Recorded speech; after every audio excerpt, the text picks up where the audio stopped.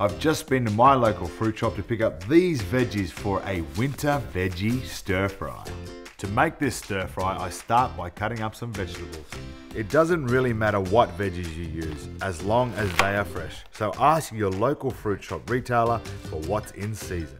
To add some protein to the stir fry, I cook up some rump steak strips, thinly sliced for about 2 to 3 minutes or until brown and tender. After I've set the steak aside, I reduce the heat to medium high and add more olive oil to cook some garlic for about 30 seconds. After 30 seconds is up, I add the rest of the veggies to the pan.